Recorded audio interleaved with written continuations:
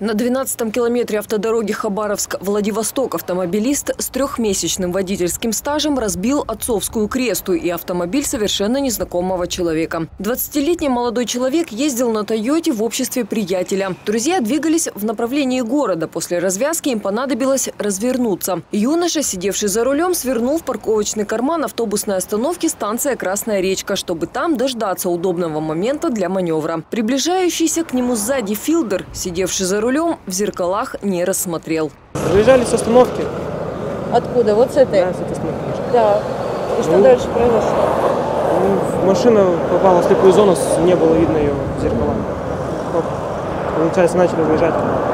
Для 45-летнего водителя универсала маневр оппонента был полной неожиданностью. По словам мужчины, он просто не успел ничего сделать. После скользящего удара Филдер оказался на встречной полосе. Ну как, уеду, еду, все, выехала машина и мне уехала. Ну вы тормозили? А как бы я тормозил, она вот перед носом.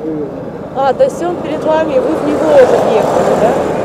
Пострадавших в этом ДТП нет. Сомнений в трезвости водителей не было. Тестировать шоферов полицейские не стали. С документами все было в порядке и у начинающего автомобилиста, и у владельца универсала. Виновником аварии автоинспекторы назвали юношу, как не убедившегося в безопасности маневра. С места происшествия Мария Дедова, Юлия Зима и Павел Рогатин.